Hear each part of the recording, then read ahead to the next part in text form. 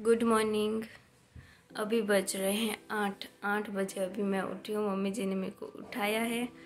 तो आज मैं व्लॉग बनाऊँगी कि मैं पूरे दिन क्या क्या करती हूँ। हम सब क्या क्या करते हैं। तो चलिए वीडियो शुरू करते हैं। तो सबसे पहले तो मैं ब्रश करूँगी। फिर देखते हैं कि क्या करना है।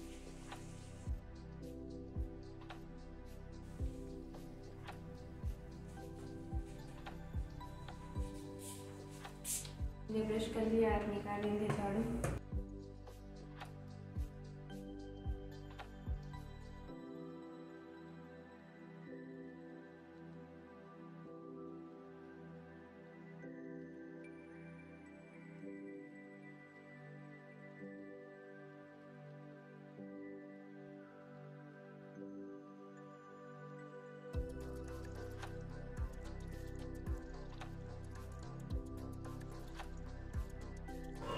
अभी मैंने झाड़ू निकाल दिया तो फिर सबसे पहले हम जाएँगे ऊपर टेरेस पे, जो टेरेस गार्डन है, उसमें पानी डालने जाएँगे।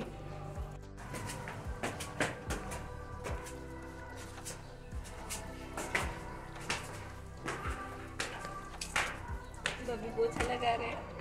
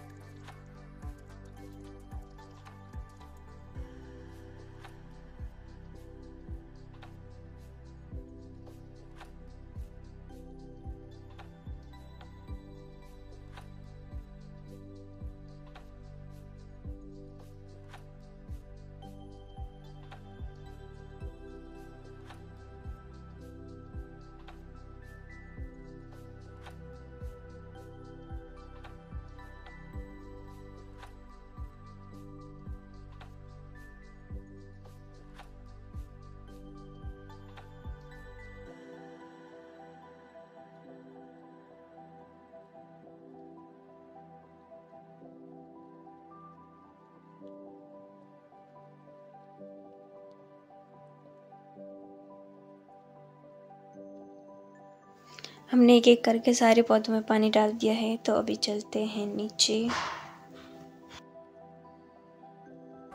अभी हम लगाएँगे पोछा।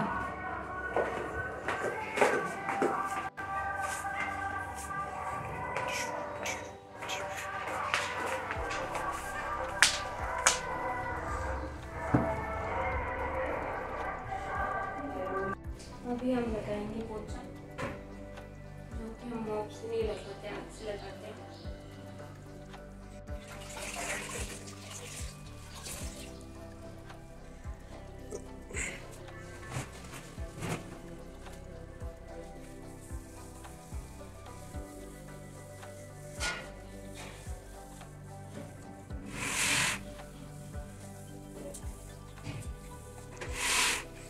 हमने पोछा लगा लिया है तो चलिए चलते हैं रसोई में।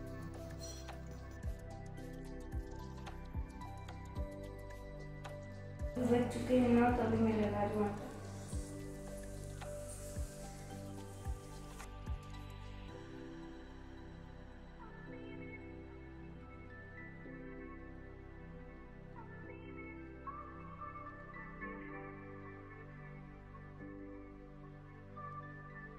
आटा मेरा लग गया है बस ऑयल डाल के थोड़ा सा सेट कर दीजिए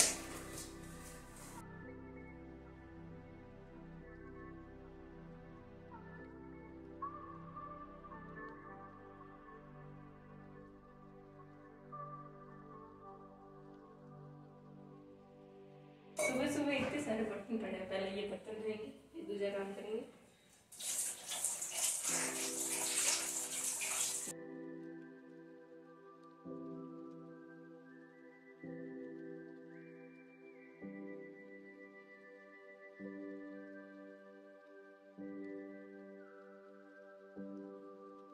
हमने सारे बर्तन धो दिए हैं, अभी हम बनाएँगे पराठे। देसी घी से। साढ़े नौ बजे हमारा नाश्ता बन जाता है। भाई साहब की ड्यूटी जाना होता है तो उनके लेट ना हो, इसलिए साढ़े नौ बजे हमारे नाश्ता बन जाता है।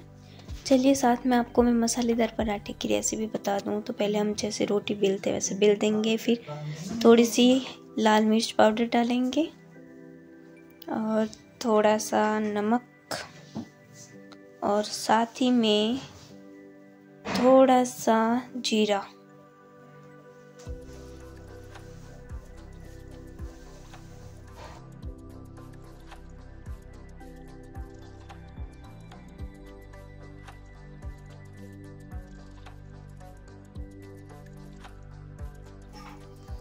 अब इसको समोसे जैसे बना देंगे। जैसे कि हम समोसा बनाते हैं उस आकार में।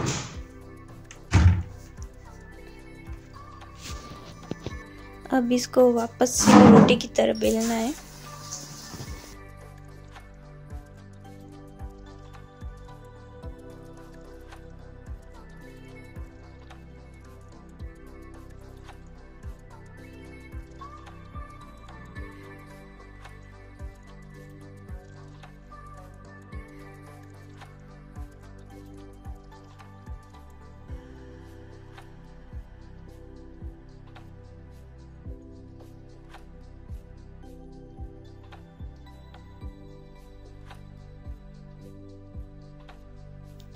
अभी इस पे लगाएँगे थोड़ा सा घी।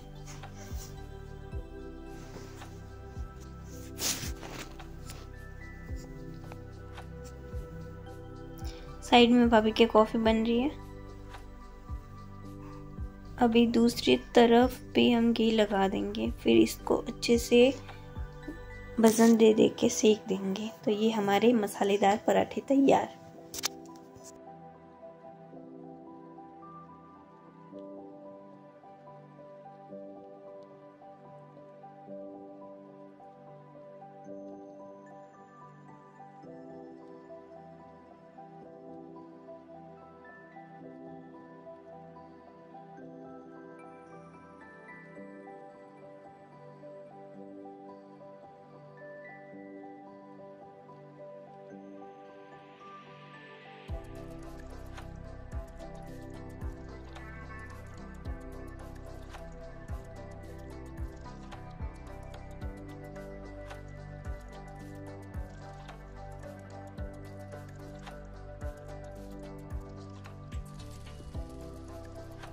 अभी मेरा सारा काम हो चुका है तो अभी मैं करूँगी नाश्ता।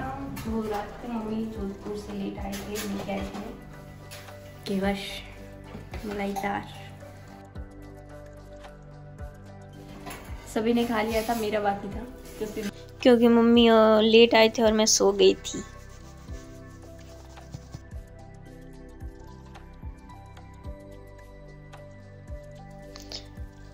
और घेवर के साथ मम्मी लेके आए हैं।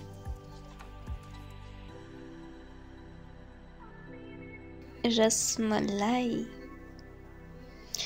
थोड़ा वो भी टेस्ट कर लेते हैं।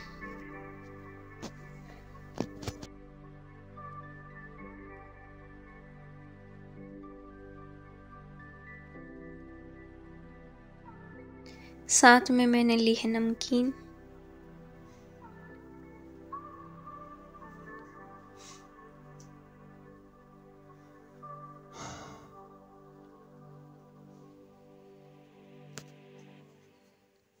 अब लेंगे थोड़ा सा दही और पराठा। मम्मी पास में बना रहे हैं पापा के लिए खाखरा। और भाभी जो बचे कुछ बर्तन हैं वो धो रहे हैं। तब तक हम कर लेते हैं नाश्ता। सभी लोगों ने कर लिया है नाश्ता।